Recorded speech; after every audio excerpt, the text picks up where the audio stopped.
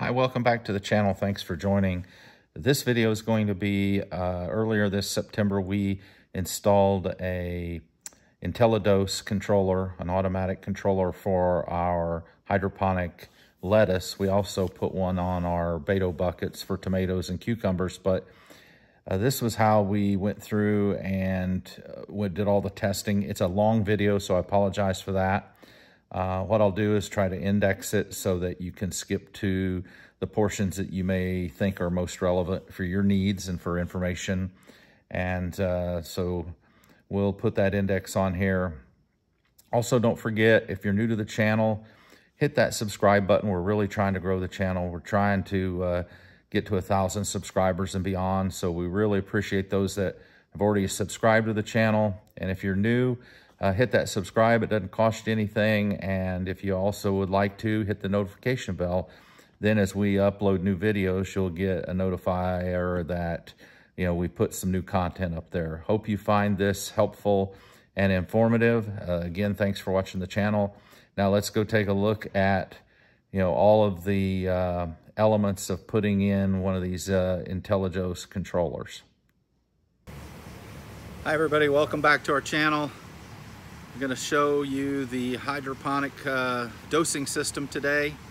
Behind me here is some of our lettuce in the NFT nutrient film technique uh, channels. And so we've got more that we're getting ready to put in here. So before we scale this side out and ultimately the other uh, half of this bay we need to get our nutrient dosing system in place. So Today, that's what we're gonna take you through. So as you've seen in a prior video, um, we've got a reservoir tank in place. We're actually starting to run this side of the NFT. That side, we started with a small reservoir. Uh, this will all now get uh, constructed out. You can see our Bato bucket tomatoes over there are doing fine. We've got a reservoir for that system. We'll ultimately put the same um, dosing system in there. Uh, I've got some uh, conduit channel, mounting channel across the back of that bay. I've got plywood out there painted, a backboard. And so that's what we're gonna put our dosing computers on. And so let's go take a look at those. While we're going up to look at these dosing computers and all the components of that, don't forget, like, subscribe, share our channel, uh, we're trying to grow the channel. Hope you find it informative and helpful. And uh, it helps us out a lot if you subscribe and share it. So thanks so much for that. Let's go take a look now at these uh, dosing computers and the components.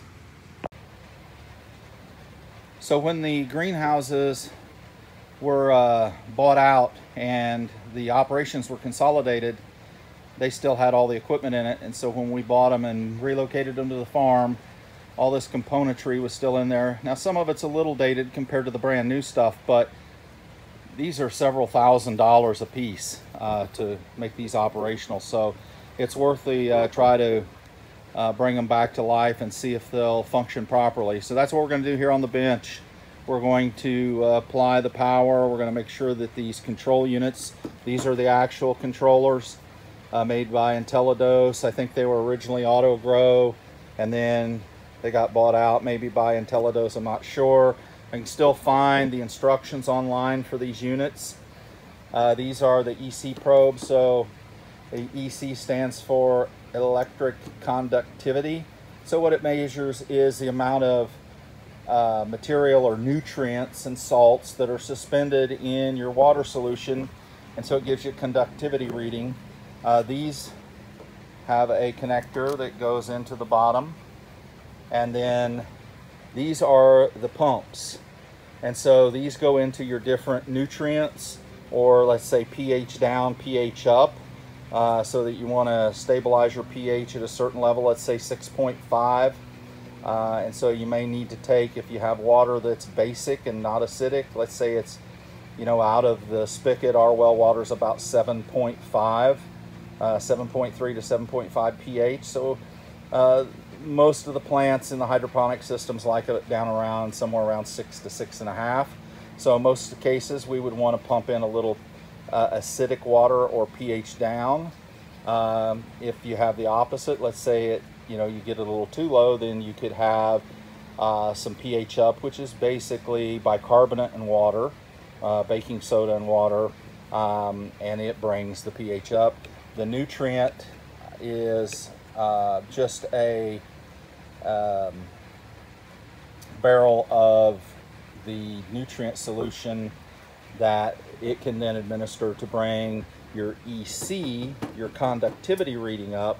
Let's say lettuce likes 0.8. On the tomato side, our EC um, is about 1.2. Uh, on the lettuce side, the EC, you want around 0.8. Uh, that's the uh, electric conductivity. It can also be measured in ppm or parts per million. There's two different uh, scales for that. There's a 500 and a 700 scale.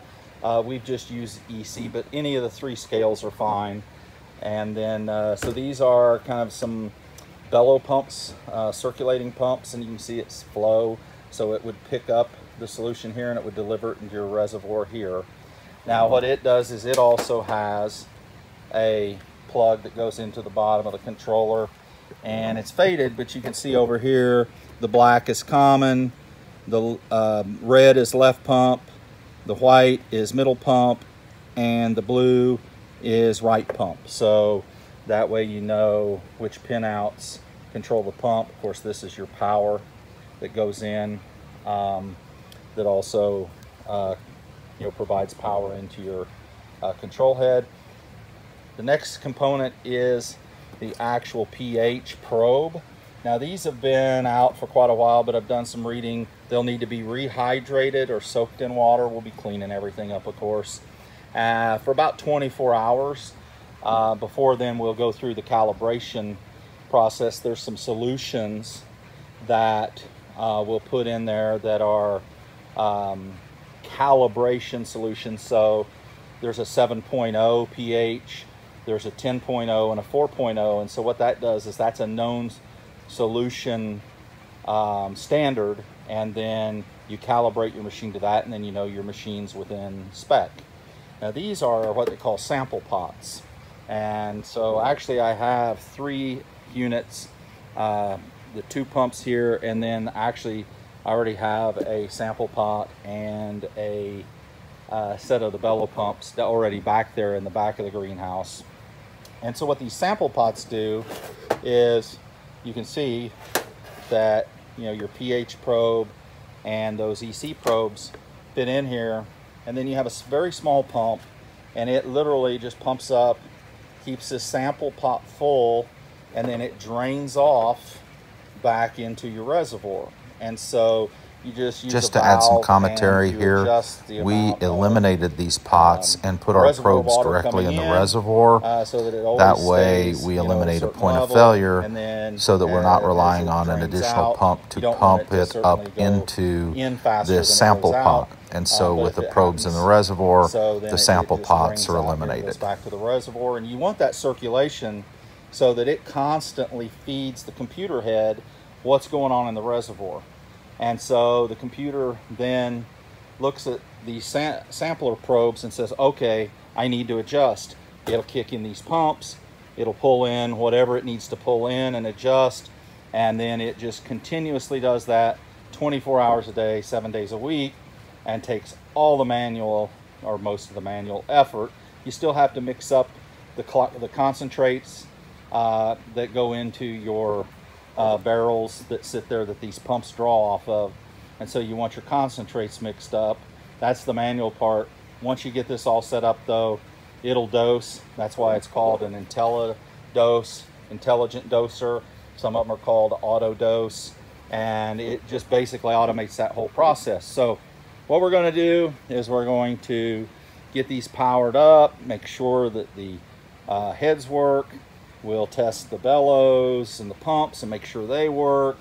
Uh, we'll have to clean and soak the probes. Um, once we determine all that, then we'll go through the calibration process.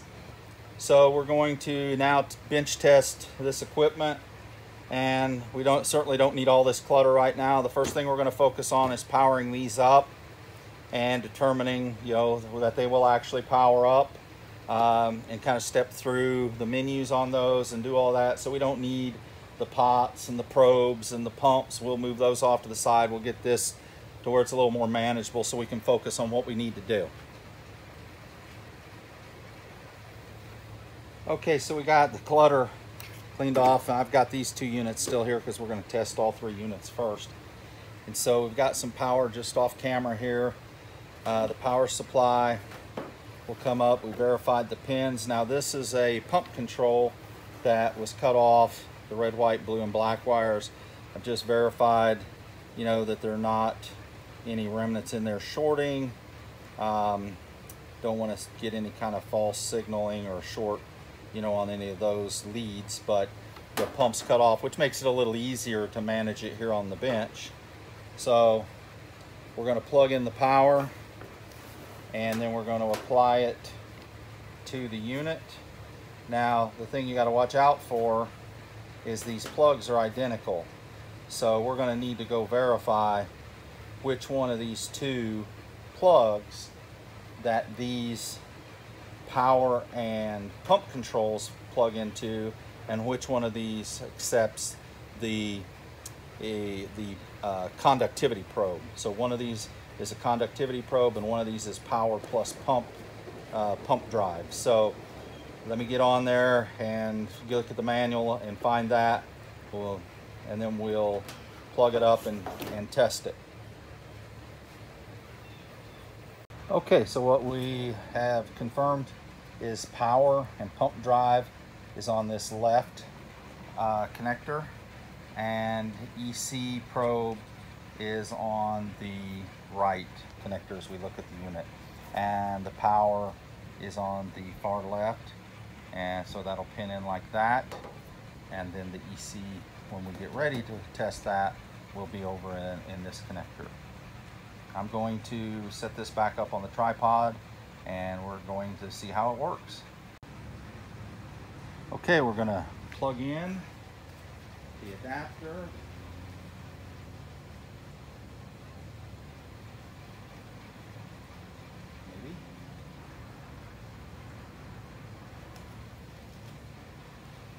Okay. And then to plug in the unit.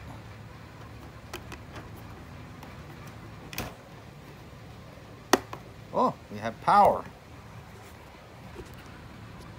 Awesome. Look at there. So we know that this unit's functional. Now, it all is going to depend too as we start to plug in the sensors and make sure that, you know, we can get through all of the settings, but that's a positive sign. So now we're going to test the next two. Okay, we got the first one out of the way. Now we're going to plug in unit number two. And we have power. And it has come up. Actually go into the menu, exit out of the menu. I confirmed that on the other one as well. So so far, two for two. Okay, now this model is slightly different. Uh, I don't know if it was slightly newer or slightly older. Um, I couldn't find any information on that. However, it appears that even on their newest, the pinouts are all the same. So let's plug this one in and see what happens. We have power. Looks like we've got a screen. Yep, and let's see if we can get into the menu here. It's allowing us to get into the menu. So, success on the first three attempts, three for three on the control heads. That's that's huge. Uh, like I said, these these units are expensive. So, um, you know, you get a dosing unit. Uh, IntelliDose, you know, is a is a high quality system they're newer certainly now. They're made a little differently, but uh, you're in several thousand dollars just for one unit. We've got three, three complete systems. So uh, this is this is a great win for us. All right, let's keep going on the testing. So we're back to the first unit. I gave them just a quick clean, um, just to make them a little easier to read. And so if we go into menu, you have dosing, So you can set your dosing and EC settings, calibration, so you can calibrate and set up the unit. You can do and set up for manual overrides. You can set up for alarms. Uh, the clock, and you'll notice it's March 30th, 2010. So um, this is about a 13 and a half year old system, but um, you know, as long as it's still operational, uh, the good news is we don't need all three, so we can always uh, swap it out if need be. Uh, you can configure your units and your system configuration, and then we're back to dosing. So we're going to be stepping through all this as well, uh, but this is a great sign. And I stepped through this on the other two units as well. They're all working the same. So now we're going to get into the meat of it where we're actually going to start testing and setting up uh, the pumps, the EC probes, the pH probes, making sure that everything works. Once we make sure everything works, and then we'll start calibration process. Once we've calibrated them, we go mount them and put them into service. So stay tuned. The plug pinouts Okay, actually we're getting ready to test the control which pump pumps. runs for which function. And It's we're not putting some water. Only controlled in the software, so it's a combination of the pinouts on the plug and the software determines which pump runs for which function. set that aside for a minute. Um, so what we'll do is we'll test each pump one by one in and out because you can see the flow arrow right on the pump. And so one of the units had these extensions already on it. So that's handy. So we'll put an extension in to draw water out of the bucket. And then I could just let it like spew out of here, but I don't know how fast it's gonna be. So I'll actually put the other lead in the bucket. We'll test to pull it up and see if it's actually putting water out. We'll actually let those pumps circulate for a few minutes wash them out. Um, so let's get into it. So we were able to get one of the pumps. This is actually, so this is EC. This is pH up. Excuse me. I think this is pH up, pH down. I wasn't able to get this one to pull um, when it ran. It only ran for a short period of time, so it probably got to go into the settings. Um, this one is running continuously, and so without pulling power, I don't know yet how to manually shut it off. I went in and manually started them, and they all started running. Uh, this one does run, but it's running for a prescribed amount of time. This one ran, but then quit, and so I have to do quite a bit of troubleshooting. But on a positive, I know at least one of these um, pumps works, and they're actually called a peri pump, uh, triple peri pump. And so, yeah, I saw online the technical term for it. Uh, peri is a an abbreviated term, but uh, they're actually not a bellow pump. They're more of, I guess, a diaphragm type pump. Um, but they're actually called a peri pump. So more to come on that. But we do have some uh, fluid coming out of it. And you can see as it doses, it's not a tremendous amount. It's not like it gushes out like a geyser. Um, and then you have all sorts of prescriptive setup times, you know, based on the dosing, how often you want it to sample and, and return. So a lot of learning going into this, but uh, right now we're just testing the components to see what works and what doesn't. Good news is I've got multiple pump units. So if I've got bad diaphragms or seals or whatever in those pumps, I've got you know plenty of spares to go try to make a working unit. But we're going to keep fiddling with it. But this is a positive sign. Okay, so far the pumps have been fairly intermittent.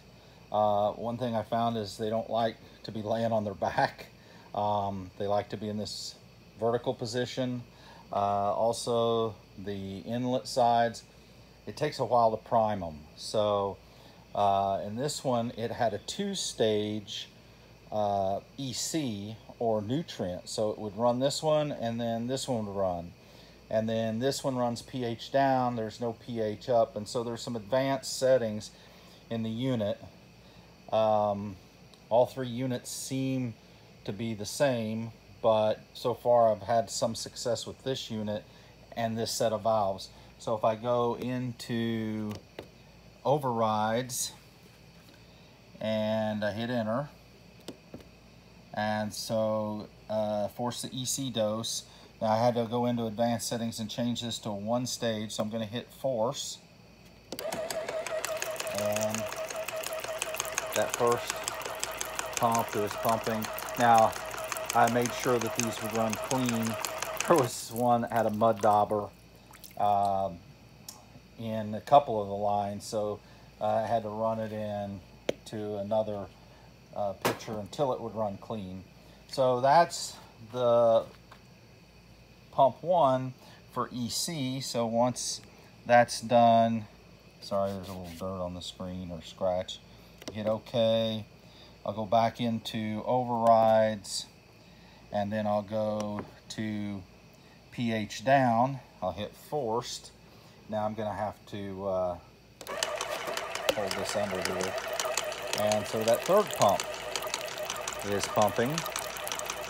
Still see a little bit of crud coming out. That's why I'm not running it back into the bucket.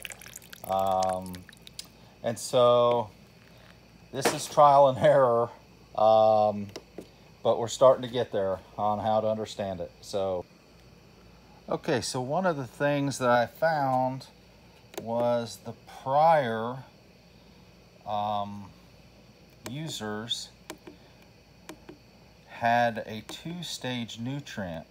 So that's why it was going from one pump, number one pump to number two pump.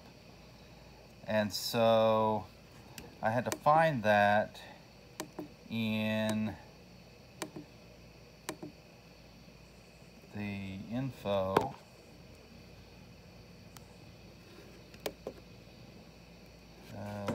Wasn't info, it was uh, advanced settings. So go into advanced settings, simple dosing type, uh, it's either simple or um, the dosing mode is, well, let's just go back. It's either simple or something like continue. I don't know what it was. Proportional. All right, so they had simple, um, and then on the dosing mode, they had simultaneous versus sequential. Uh, and then on the lockouts, uh, they have those disabled, which is fine. Um, but here, outputs. So go into outputs and see they have a nutrient two-part solution, right? And so it was going through pump one and then pump two sequentially. Uh, I'll only be using a total master blend mix, so it'll be a one-part solution save. And then the other settings are, you know, pH output, so pH lower, irrigation is disabled, water dosing is disabled, but that actually is the pH down. So you enable that and then you get a pH down, but I have yet to find out how to enable that pump. So, but right now, if I get out of here, completely out of here now, all the way back to the menu, and we go to overrides. As I showed you before, we'll do a forced DC dose pump one. right? And then we hit OK there. And then enter on that. And we go to pH down. And we hit force.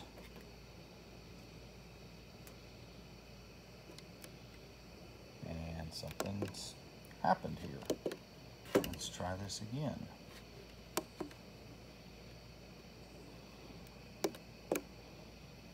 Well, so I changed that setting and so it's done something. So I'm gonna have to go back and find out why pump three now is not working.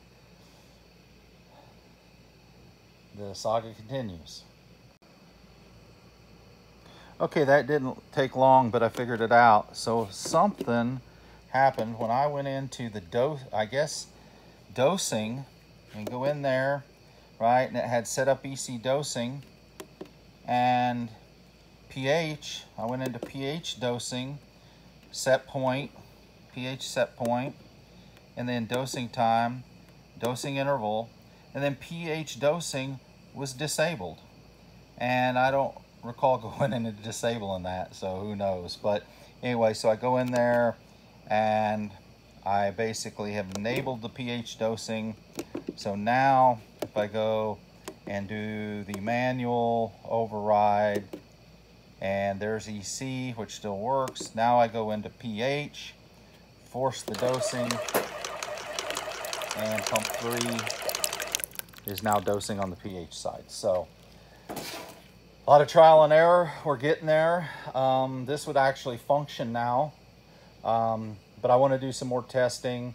I want to try to understand how I can do pH up, pH down, and, and do a uh, obviously the nutrient EC. So far I've only found EC part one and two. In here is water dosing for pH up, but I haven't been able to get it to turn that second pump on. So not sure yet. So I'm gonna have to do some more research. So we're back out here today. I did some research last night and I actually found the pinout schematic diagrams and the manual. And so, if I pull this plug out, sorry.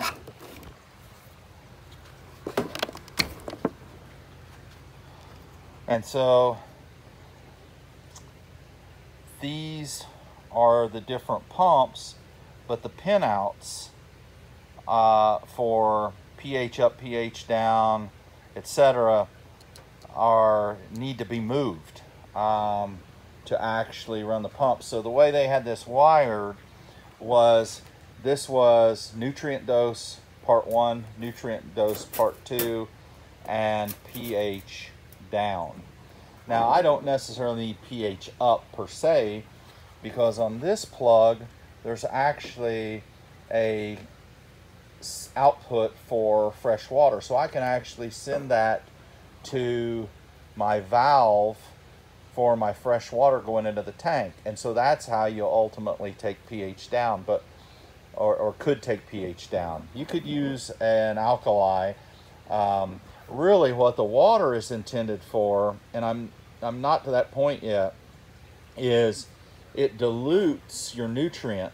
So for lettuce, at night, when lettuce, um, you know, is in the evenings and overnight, lettuce doesn't transpire as much uh, water, and if you're dosing it with the same amount of nutrient, you can get what they call tip burn, little brown uh, areas on the edges of the lettuce leaf. And so the way to combat that is you dilute your reservoir. Let's say your EC is at 0.8 and overnight you want to run it at like 0.6 or, or 0.7 uh, and so what that does is it knows uh, when you want to do that. It puts fresh water into the reservoir, which in turn drops your concentration of your nutrients and drops your EC reading. And then in the day, then the doser knows then, okay, I'm no longer needing, you know, 0.5, 0.6 on the EC. Now I need it back to 0.8 and it will dose the nutrients back in to the reservoir and bring it back up we're not ready for that yet. We just want to get the basic system to do dose the nutrients and to take the pH down. Um, and then if we see that we're experiencing tip burn, then we at least know that this unit has the capability of bringing uh, the EC levels down with uh, dilution, water dilution. So we'll have everything in place to do it. Um, but we're still learning, so we want to take it one step at a time. So we're going to finish setting this up, and we're going to go get it installed. So the fans are running. hopefully I'll be able to uh, get the microphone close enough here. Getting ready to go through calibration, but as I said earlier, the EC was actually correct, 1.5. Lettuce is 1.2 to 1.8. Uh, when I saw that this thing had 1.5 in it and I knew what those guys grew, I went back and redid my research. And so we've been running our EC low.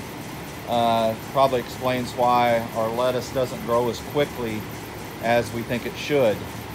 And so I was actually doing some research on what the EC for the tomatoes and cucumbers need to be. That's going to be between two and five. Uh, but I'm to have to go back in and change those settings on this to get it uh, to 1.5. So I'll do that and then we'll do the calibration process. So I'm not to have enough hands to do all this calibration, but basically we have solutions that are standardized. This is a 2.77 EC. So we'll put this EC probe in, that solution. I use a little small uh, vial so we don't waste much of it. This is just water to rinse between. Uh, this is another one in case I want to use one of the pH um, calibration solutions in there. Um, but typically what I'll do is I'll empty this out and then put the next solution in after I clean it. So um, after the EC then you put it in pH 7 which is neutral. Once that's done then you move to calibrate to a pH 4.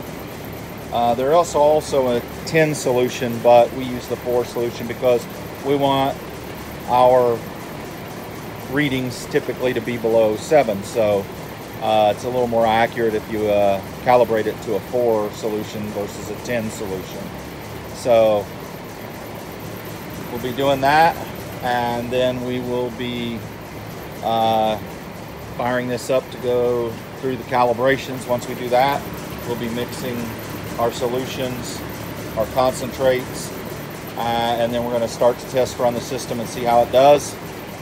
Like I said, my hands and they're not going to be free enough even with the tripod it's just no good way to step through all that calibration so uh, just do that you can see here some of our lettuce is uh, going uh, we've had some non-germination but uh, you know it's doing pretty well considering the EC's been a little low on it the nutrients have been a little low so um, now what we'll do is we'll use the controller uh, to bring that EC up to the 1.5 level and that'll be a good test for us and uh, make sure we get it dialed in correctly. Okay, we've completed the calibration. The probes that were in the system were no good. Uh, they wouldn't calibrate up. But luckily I had this uh, Bluelab who now owns IntelliDose Autogrow um, the probe is compatible. So I've still got the EC probe built into this, but the pH probe is detachable and it's the same type. And I know it works, so I mounted it on this one. I calibrated it. It went through calibration fine. And so now you can see uh, right now pH 6.4, EC is uh, 0.7, temperature 75 degrees, and so we've got a target of 6.0 and 0.8. Of course, I'm gonna have to move that to 1.5 and I'll see how the, uh, you know, I'll see how it reacts.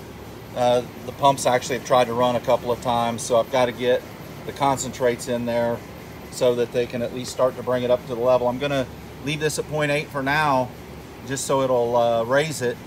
And then uh, We'll also leave the pH maybe a little lower, may change it to about 6.3 and uh, we'll see if it doses them down and uh, we should be good to go. So, so far so good. Don't forget to subscribe and share. Uh, we're not done yet. Uh, we got a little more work to do to get these reservoirs uh, started, get some of this mess cleaned up. And I've got to take my uh, outputs uh, and route them into the tank. So uh, Still got a little work to do. Okay, we've got everything set. We've got our lines rigged up and our concentrates are mixed, our pH down and our nutrient. Uh, I just did that. I had actually been manually priming and running these. And as you can see, we've got fluid in both. We just wanted to make sure we didn't really have any more debris. We'll now route these into the reservoir and then we will, uh, you know, we will start to actually force uh, manually because for every time it pumps, then it's supposed to lower to a certain amount. And then, you know, one, you got your dosing right and you got your concentrates right and you got them matched. So we'll be doing that and stay tuned. We'll come back with the results. So it may be kind of hard to see in the sun. I can't really see my screen on my phone to tell, but EC 0.7, set point uh, 0.8, uh, pH 8.6 right now, and we want it at six. So that's gonna be the one I'm really interested in seeing uh, if it'll start to drop. And so what we'll now do is we'll actually go into the menu. Uh, we won't do dosing. We'll do not calibration, but overrides. We can do a forced EC uh, or a forced uh, pH down. And I'm actually going to do the forced pH down uh, for a couple of times. And so then what we'll do is we'll give that some time and we'll come back and see what our um, drop has been. So it's been dosing about 15 minutes. Our pH already down to 7.1. So that's a combination of the concentrates probably strong and the dosing intervals are maybe a little close together. So uh, the EC hasn't gone up any yet. So um, I think I'm going to change the, um, at least the set point for the pH from six, I'm gonna leave it at 6.5. We're just gonna monitor it, keep seeing how fast it drops. Because once it reaches that 6.5, it's not gonna dose.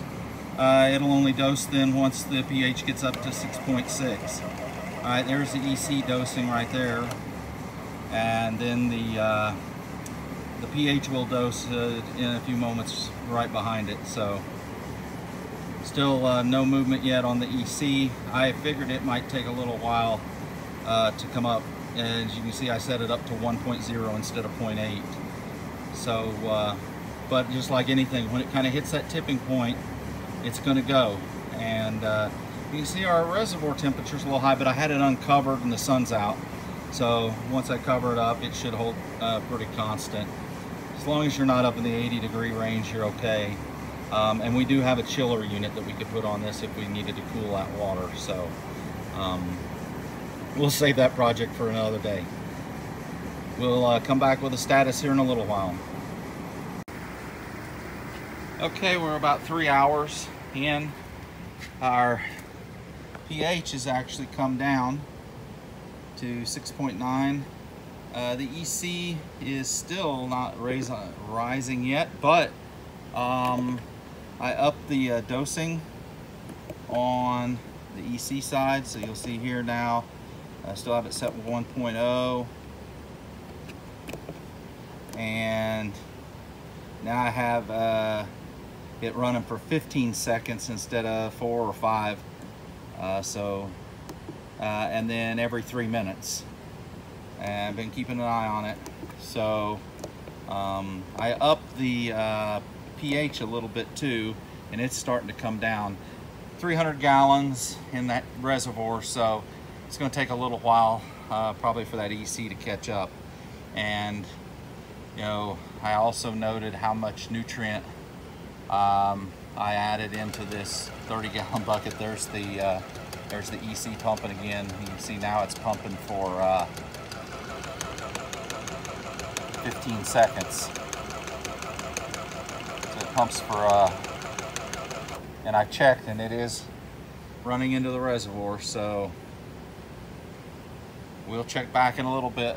Uh, better to go slow instead of, uh, you know, over overdoing it and then you know you're over uh, your intended target. So, and I set the intended target at 1.0. Ultimately, it'll be about 1.5, but I just want to see, you know, how long it's going to take to start moving it, and then we can adjust from there. So it's a couple days later. Our EC's down to 6.3. Just you can hear the. Uh, I'm sorry, our pH is down to 6.3 uh, set point 6.5 so it dosed a little more but that's why I set it a little higher. The EC now is at 1.0 it's come up from where it started at 0.7 and uh, we've upped that now to 1.3 uh, we still got it on a 25 second dose two minutes between intervals. When we start you know getting it up there to where it should be um, then we'll you know back that off and see how it maintains. Um, we always do the set points a little um, conservative to our number that way. If we do dose a little strong, um, we don't go you know too far over. So this will be the final video on this. It looks like it's set up and going. And uh, we're gonna go over here and we're gonna do our next video on a couple things. So over here on the uh, tomatoes, we'll uh, be putting the same exact setup over there uh, for the Batos. Uh, you saw in a previous video where we did cuttings, suckers, and uh, put these in and they are really taking off. Uh, that is food grade uh, diatomaceous earth. That keeps kind of the ants at bay trying to get to that water, especially right now it's really dry. Um, and then we're going to be installing our trellising cable uh, for our uh, tomahawk system. So the next video is going to be on the trellising cable and how we're going to set that in here because these things are already getting to where they need to start climbing. So um, don't forget, like, share, subscribe,